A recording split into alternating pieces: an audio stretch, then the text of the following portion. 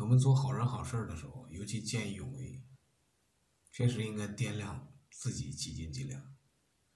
你行菩萨心肠，有没有金刚手腕？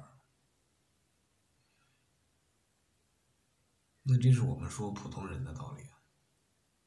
当然，更深一层，那一刻浩然之气起来，也不在乎身边有没有谁帮手，你就压得过他。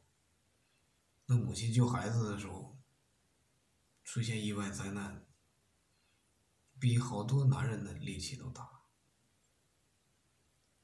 狗急跳墙这个东西激发出来的潜质，那不在我们讨论范围。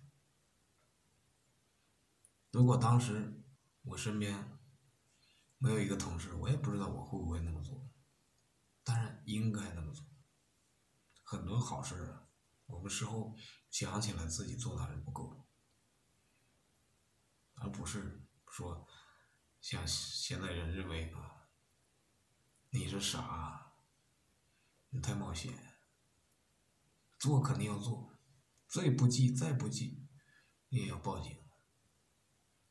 那有人管吗？你管不了的时候有人管。然后他看我的眼神，那个凶 的程度啊，我至今。只有两次，他一个，还有一个是动物园的狮子，那隔着栅栏，离着几十米远，那个凶残的，他就是要吃你们，就要你命，还是个母狮子。我身边那个同事，在我旁边，其实也没起什么作用，看上去是东北。好像有那股劲儿，长得也不矮，那结果就走也不是，不走也不是。我两个对视，他离得好远，给他吓得心里直突突。事后说，那搞不清他是身边有帮手，还是最起码身上有力气。那搞长期搞这个，他自己就没有防备嘛？肯定有。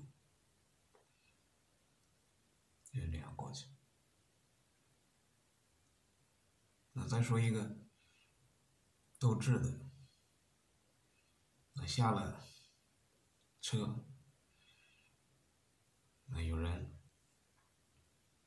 说我找不到路了，一个女的接电话用一用，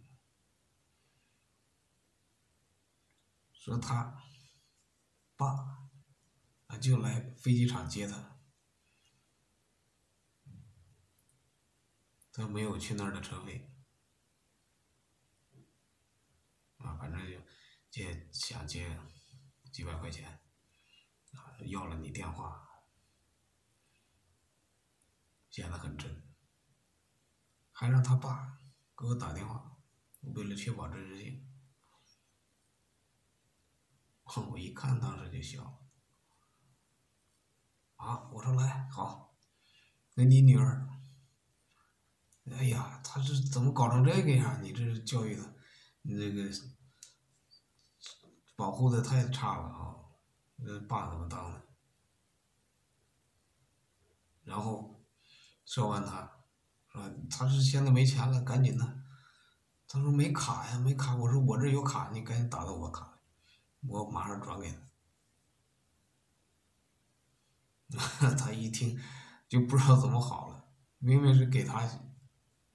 钱怎么又变成给我的？啊！一听不知道怎么办。他说：“那你给我车费？我走吧。”把电话挂了。我说好，我说叫个是那个出出租车，我说把他赶紧拉到那个飞机场去。那那有人接他啊！好好，给那个女的急的，原地打转直跺脚。你不帮就不帮啊！这这种人，你就只能用这么治他了，怎么办？啊，后续的我们再说，还有。